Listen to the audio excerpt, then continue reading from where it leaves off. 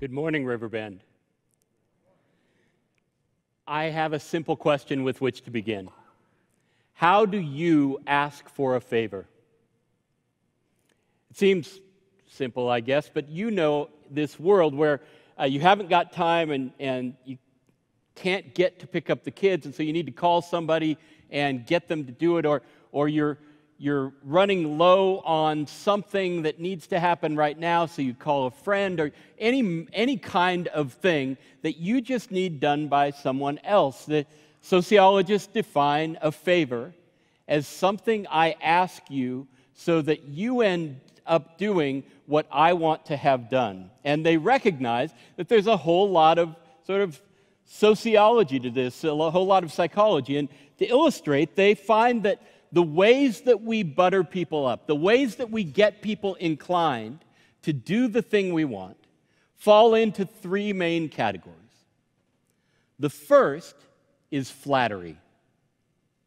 You know this one. Oh, you look nice today. Did you, did you get a new did you get a new haircut? You know, you look great. Have you been going to the gym? it looks like you've lost a few. I, I don't know what's going on, but you look marvelous. I would, if you have a headshot you need, I would take it today. And the Christmas card photo, now's the time. And I, I was wondering, uh, would you mind watching my house and my five dogs for the two weeks that my family is going to be on vacation? Right? You know this dynamic. You, you kind of butter them up, them up with compliments or some way of making them mood up, right? And then it's in for the ask. So the first one is flattery, and we all know that one. The second one is indebtedness. So you remember that time? You remember that time when I had just finished 36 hours of studying for exams, and, and I finished my exam and I hobbled home and I was just crawling into bed when the phone rang and it was you and you were a long way away and you had lost your keys and you asked, Alan, could you please come get me? I can't find my keys and I'm here with my car and I can't get home. And I stopped my snooze and I came and I rescued you. So I was wondering, do you mind loaning me 500 bucks? Right? So we've got flattery and we've got you owe me. And the third is simply, it's going to be good for you.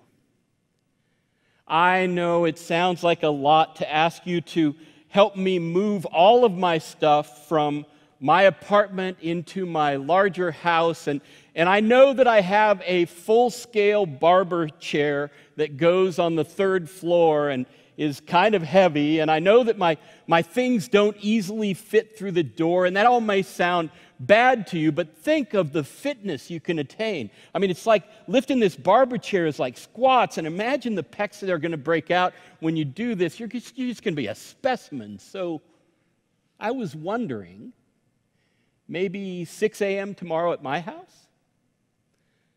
We use many forms of manipulation to get people to do stuff for us. Favors are a thing sociologists watch for that reason. They like things like reciprocal gift giving. Do I give you this size gift or that size gift? They like social leverage and the things that we do to make headway in relationships like that. And you know, in this realm of favors, they also know that we sort of unconsciously calibrate how much we have to pound it, kind of pile it on. How much do I need to do in order to get this person to do it? If it's, if it's just, can you, can you pick something up at the store while you're there anyway? Yeah, we don't have to lay a lot into it. But if it's a larger thing, we may have to stack. And I, I start this way because you and I have been spending with Dave Haney and then with Travis last week, we've been spending two, and now this is the third week, with our ancient friend Paul in a letter that he wrote to Philemon a brother of his, a co worker of his, a fellow pastor of his. And he was asking a favor, right? He calls it a favor in the passage here that you're about to see. He calls it a favor. He says, I need to ask this favor of you. Yes, my brother Philemon, please do me this favor for the Lord's sake. And then down just a little before that, he has described what it is. In verse 17, he says, uh, So if you consider me your partner, welcome him as you would welcome me. Now, if you've been around for the couple weeks, you know that the him here is Onesimus. You see, Philemon's a fairly well to do guy, and he has slaves, which was kind of normal for well to do folks in the first century. It was heinous in our, from our perspective, but it was kind of the everyday water that he swam in. It was on the, on the teaser, on the bumper, it's, it's all the cars going in a direction. They were going in the direction of you have slaves if you're a well to do person. And so Philemon had slaves. And Onesimus, Onesimus, one of his slaves, who was apparently very valuable to him, decided to up and run away and may even have taken some of the family jewels with him. And now Paul has written back and said, Here's what I want you to do. If you count me a partner, receive Onesimus back as a partner rather than as what? A violator, rather than any of the other things you might choose to do with him. And so, if a sociologist were looking at the letter to Philemon, they would ask, How big a favor is this? And the way they calibrate that is, How hard does Paul work in his buttering up? How, how much does he go out of his way to make sure he pulls the levers that are going to get the favor, favor done for him? And you know what he does here? He runs the table. All three of our three. We've heard him along the way. On the first one, flatter Philemon. He says in his opening prayer, Oh, I thank my God every time I mention you. I'm so refreshed by your spirit and by the things you do for all the saints. And you have refreshed the hearts of all the children of God. In fact, that last one I looked up in the King James Version just for fun, and heart in the 17th century was bowels. So you have refreshed the bowels of the saints. Try that one on. See if you can become a bowel refresher. The, Paul throws in the flattery and lays it on in his opening prayer and kind of frames it in the letter. And he also, he also pulls the you owe me card. He also pulls the indebtedness card. He, he steps in about two thirds of the way through the letter. He steps in, and it was Paul's custom, it was Paul's custom to dictate his letters. He'd have a buddy come, even when he was in prison, he'd have somebody come and he'd dictate, and the other person would write. Apparently, he had something wrong with his eyes, and it was big letters, and, and so somebody else wrote. Well, he stops that writer and, and steps in and says, This is I, Paul, writing. I want to assure you, I will pay any damages that Onesimus has, has incurred with you, right? And I won't even mention that you owe me your very soul. That's a you owe me, right? That that you wouldn't be Christian if it weren't for me. Paul gave birth to him in Christ Jesus. Paul was the one who shared the gospel with him. Paul, probably the one who baptized him, right? Paul is pulling rank here in a way, but he's certainly saying, You owe me. So he's got flattery and he's got, uh, and he's got indebtedness. And then, third, he lays on, It'll be better for you. I don't know if you noticed as we've read through this, but, but Paul says, you know what? Here's the deal. If you accept Onesimus back instead of punishing him or doing something horrible to him, if you accept him back, you get a brother and maybe even a partner out of the deal. Right? Paul is pulling out all the stops, which tells you and me and tells sociologists this is a big ask. And so we're going to ask together today what makes it such a big ask? What makes it such a hard favor for Paul to expect that Philemon might answer. And uh, to do that, it's going to take some work, so let's pray for help. We pray with me. May the words of my mouth, the meditations of all our hearts, be acceptable in your sight, O Lord, our rock and our Redeemer. Amen. So I thought Travis did a marvelous job last week of reminding us that the status of an ancient slave was that of a tool, of property, of a thing that was utile, that was useful, right? But that had no rights or no say or sway in any way with their owner, right? They were tools. And so you could get in trouble for keeping someone's tools. And so in Roman law, as we'll see in this slide, in Roman law, since a person was defined as a tool, there's this great fresco showing slaves kind of doing their job. A man who conceals a runaway slave is a thief. Notice not a kidnapper, a thief. Thieving is what you do with things. Kidnapping is what you do with people. So, so as Travis reminded us last week, uh, slaves were property without much recourse. But they're more than that, because here, as I read further into Roman law on this, it turns out that runaway slaves show up in the law a little like pets or livestock, because frankly, tools can't run away, right? Screwdrivers don't get up and leave.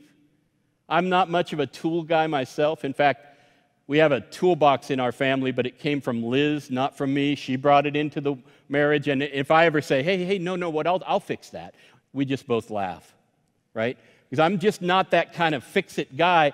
Eh, but, but what I think about is my computer. My computer is my, my most important tool. I've got a laptop and I do everything on it. If it gets gone, I have problems, but you know what? It can't walk off on its own. If it's lost, it's usually me leaving it somewhere. So, law has to treat slaves as more than just inanimate tools, of course. And they end up looking more like pets or livestock, so that you know how what happens when we when we lose a dog or cat when our lo- dog or cat kind of scampers away what do we do we put posters up on telephone poles and such right saying uh, we're missing Tabby or we're missing Fido. Uh, if you get in, you know, if you happen to see them, here's a nice fetching picture. Will you please call us or will you, you? We, we, put, we put posters up to, fe- they did that in the ancient world with slaves, right? They would put a poster up, but in their case, it wasn't exactly like the milk carton uh, missing child thing or the missing dog or cat thing. It was more like a wanted poster right? Almost like a wanted dead or alive poster. They put the whole town on search, and they would search other people's property with impunity. The law says if your, if your slave runs away, you have a right to go on anybody's property, property and scour in order to find, right? So there are a whole lot of legal ways that owners of slaves get to get them back when they're runaways. But unlike cats or dogs or even horses, who mostly want to be taken back to the home that's familiar to them. Slaves would do almost anything not to be taken back. They would do almost anything not to be taken back to their home. And so we get in the next slide a, a, law, right, from ancient Rome, and this is Russell Crowe as gladiator, because ancient slaves, if they could get away, would run away to the gladiator games and try to anonymously sort of sign on before they were caught. So the law was written a runaway slave cannot escape his owner's power, even if he volunteers for the arena and subjects himself to its dangers, which present so great a risk to his life. For a rescript of the deified Pius says that such slaves should always be returned to their owners, whether before they've fought with wild beasts or after. People, slaves, were willing to risk their life and limb in kind of just violent gladiator shows rather than go back to their domestic setting. Right? This wasn't a thing you wanted to be. And if they were kind of tools and they were kind of treated as pets, they were certainly owned by someone without much recourse. And unless this, unless this starts to sound ancient and brutal, we should remind ourselves that 1850 is when the Fugitive Slave Act was in, enacted by our Congress, and it sounds a lot like these draconian ancient laws, right? And as Dave reminded us the first week, there's a whole lot of different forms of slavery going on in our time. So sadly, it's not quite as remote as we would hope it is. And, and beyond slavery, there are all kinds of things that move forward what Dave would call that one way street of the hierarchy of dominance, the system of domination among us, whether it's slavery or other, we have this tendency to ascend and put other people under us. Right? So, let's review. Paul is a felon for harboring Onesimus. Onesimus, throughout the law, is to be returned by whatever means, and he can be done with as the master pleases when he gets home. Right? So, is this a big ask? It's a huge ask. And it even goes beyond helping Philemon, or Philemon helping Paul and Onesimus, because there's a whole system that holds this whole thing in place. And I want to show you a jewel that was commissioned by uh, Augustus Caesar. Isn't it beautiful? Right? But if you look closely, it gets less beautiful because the top is the realm of the gods and the elites, right? The people who have in the Roman Empire sit with the gods in sort of this leisure, and there's a, there's a bird that looks very healthy, and all of these people, uh, basically, it's peel me a grape land. And the people on top are, are all set up, but they're set up because the people on the bottom are living excruciating toil. See them? Those are the slaves and the others who are propping up a way of life for the, for the people who kind of banquet with the gods. And in 17 BC, Augustus even announced that this was going to be the good news, the gospel of the new Rome that he was setting up. Namely, I've got great news for you, top rung people. It's going to get better and better for you, but of course, it wasn't good news for everybody. So, Philemon is on that top row. Is this a hard ask? He's bucking, Paul is bucking the whole system of hierarchies, and, and the slave laws are just a part of it. It's a tough ask. In fact, I'm going to suggest that Paul is asking Or uh, Paul is asking Philemon to do something that is veritably godlike. Let me explain. The concept of grace is prevalent in Christian teaching. You hear about it a lot from Dave. You hear about it a lot in Bible studies. You hear about it a lot every time Christianity rears its head because it's kind of central to what we do. But in this world, grace is threatening because, as Paul writes in a whole lot of places, God has the prerogative to punish as God wishes. God is Lord of all, after all, not just over a certain set of number of slaves. And, and so God is master of everything. God has full right, if you and I cross God, to come back at us with punishment of any sort, right? But the God of the universe decides not to do that. Uh, as Paul puts it in Romans 5, uh, he made him who knew no sin to become sin on our behalf, that we might become the righteousness of God through him. In another place, uh, a there may be people who would die for a good person, but, but not many would die for somebody who's shady. God shows God's own love for us in this that while we were yet sinners, Christ died for the ungodly. And then it comes to kind of a capsule in Ephesians 2. For by grace we have been saved through faith, and that not of ourselves, it is the gift of God, not as a result of works, so that no one should boast. You and I go off track and God decides not to punish us. You and I step away from the line, and you and I, and God decides not to punish us. God kind of turns upside down the system of hierarchy and dominance. In fact, Jesus comes as a lowly man, born in a stable, comes not to a palace, but to a poor family and turns things upside down, right? So, the paradox of grace, God's willingness not to use power against us, but to use power for us, kind of floats against this hierarchy. And when you and I get involved in it, it looks like uh, a parable that Jesus spoke in Matthew 18. He told the story of the unforgiving servant. You see, this servant was low on cash, and in fact, he had big ideas about what he was going to do. And so he asked to borrow a whole lot of money, like hundreds of thousands of dollars. And his master gave it to him. And then, when the servant couldn't pay, he just was at a loss. He went in and begged his master to forgive the debt. And, and the master finally just forgave the debt. And the servant went out, and a guy who owed him a few bucks was outside, and he laid into him and wouldn't forgive him that debt. Jesus said, This is not what the original gift was intended for, right?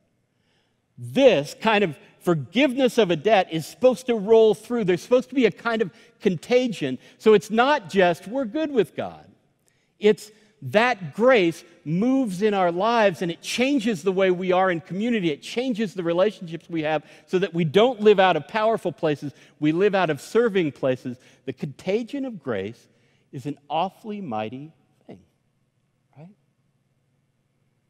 One of the best pictures that I've ever seen of it appeared at first in a very confusing three word online campaign.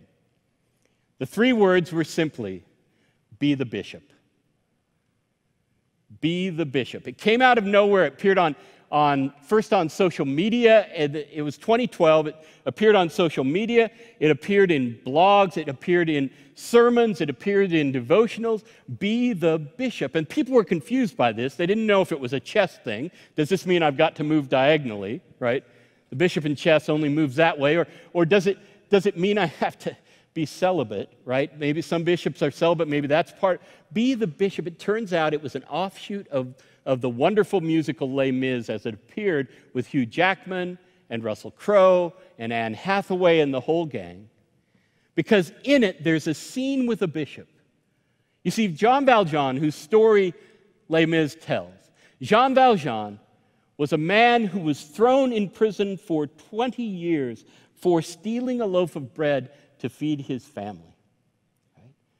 It's a long story, but he, he's thrown into, into jail and then it exacerbates because he misses some kind of parole thing. But he, he's in for 20 years for stealing a loaf of bread. He finally, after those years, gets his yellow card of release and he thinks, I'm free, I'm free. But he goes everywhere and tries to find a job and tries to find a place and can't find anything and he's getting more and more emaciated.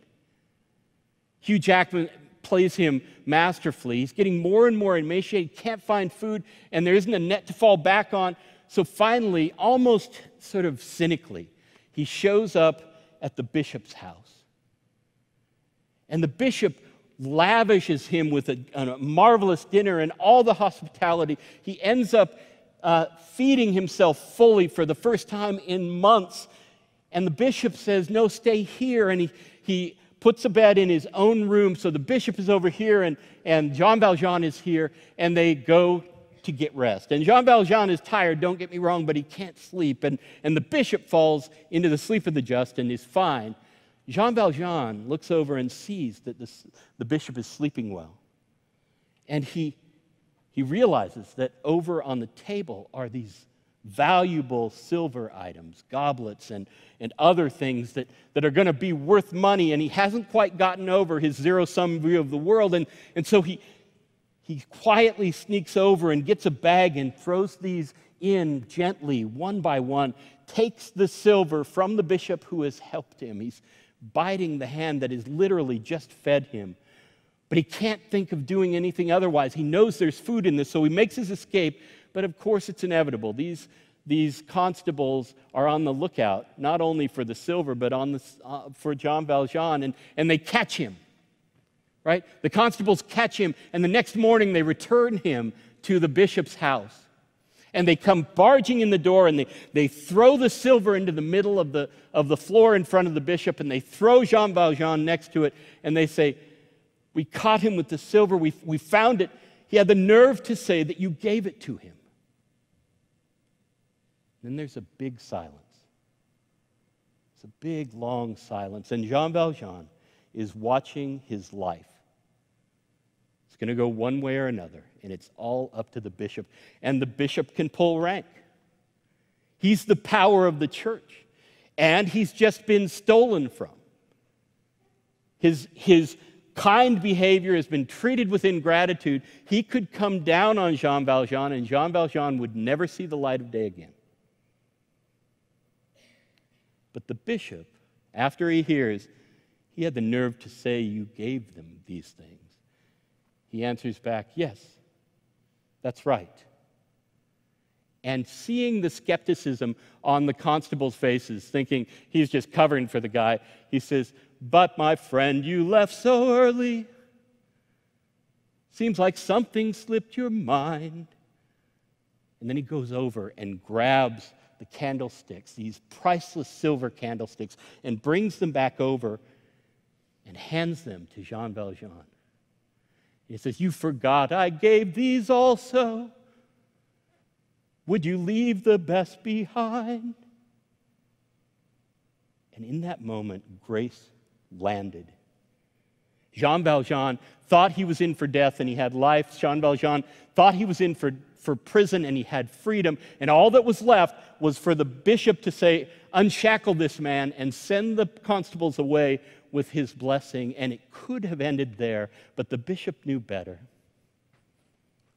The bishop continued but remember this, my brother. See in this a higher plan.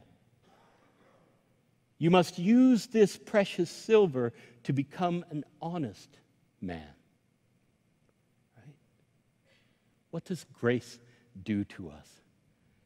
Grace, when it lands, makes us gracious. And that may sound like a quid pro quo. Okay, I'll give you this. I'll give you this, this hospitality. I'll give you this grace uh, if I'm the bishop, but you've got to do this and this and this to get it. No, no, no. Grace offers an invite into the larger life that comes with more grace. And indeed, the rest of the, the musical, the rest of Les Mis, is about how much this grace landed with Jean Valjean, how much his life became a giving out, a generosity that bucked the, the powers of sort of domination, that, that moved against the picture of what you do with means and money? He accrued and then he supported and helped anywhere where somebody was lacking, anywhere where somebody was down, anywhere that he could possibly generate the kind of generosity that had been shown to him. Friends, that's what grace does. It makes us different and it works against the structures that put us beneath one another by force. You know, all this leads around to what Paul might do if he were in the room today. And you know, you know that if he were in the room today, Paul would ask a little favor. And he might start by giving us a compliment. He might start, oh, you, you all look nice. And these musicians, they're great, aren't they? And, and by the way, I don't tell many churches this. In fact, don't tell anybody, but Riverbend's my favorite, right? And then he might say, and by the way, I spent most of my adult life racing around the Mediterranean basin planting churches that ended up making way for you to be here on a Sunday morning, and I wrote half the New Testament. Hello? You owe me. But then he would go long on that third thing. It is to your benefit he would say, You all come on in to the contagion of grace. Come on in. It's larger than any life you've known. Once you get this grace, you can't help but move it on, and your life gets knit into a large project of God to break down structures of dominance, to move healthy community into play, to celebrate brother and sisterhood, to be gracious. So I was wondering, Paul would say, if you could maybe do something godlike. I was wondering if you could maybe be the bishop. I was wondering if you could repay evil with good. I was wondering if you could love your enemy and pray for your persecutor. I was wondering if you could receive grace. Amen. Amen.